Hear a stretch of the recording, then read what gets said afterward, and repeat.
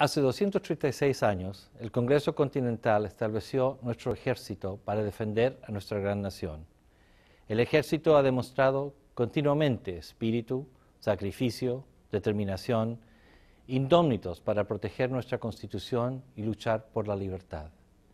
En los últimos años, nuestros soldados han respondido repetidamente al llamado de nuestra nación y nuestras familias se han ayudado unas a otras durante los numerosos tribulaciones de los desplegados prolongados.